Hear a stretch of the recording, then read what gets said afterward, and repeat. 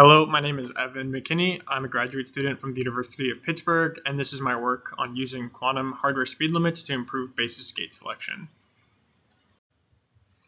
Quantum basis gates are analogous to classical computer instruction sets. However, characterizing and calibrating quantum gates is relatively expensive, so we would prefer just to select one basis gate that we can do the entirety of the algorithm with.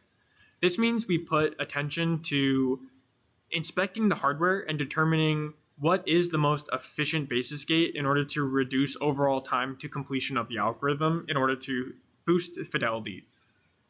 For our system, the snail coupler couples qubits and performs gates by driving the snail at either the sum or the difference of those qubits.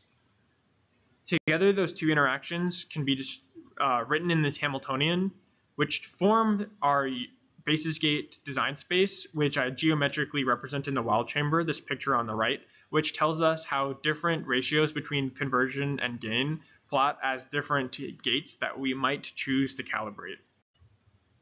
In order to determine which of the possible gates from our design space we should calibrate, we need to combine two metrics to determine its uh, which instruction would minimize the overall time to completion of an algorithm. On the left is its decomposition efficiency. This tells us how efficient a basis gate would be at decomposition, which means that how many times do I have to apply my basis gate for it to become a different gate.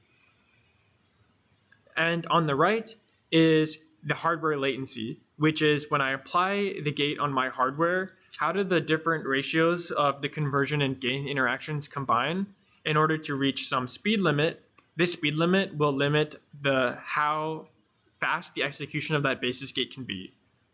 So the picture on the left tells us we want an instruction that covers the space very quickly, so I have to repeat my gate the least number of times. But I also want a gate that has a very high speed limit, so I can execute it quickly. And together, if we have uh, a gate that does both of these, that tells us what the best gate we should calibrate is. On our system, we end up finding that the most efficient gate is the squared ISWAP gate, but we wanted to know if there was any way we could make it even more efficient.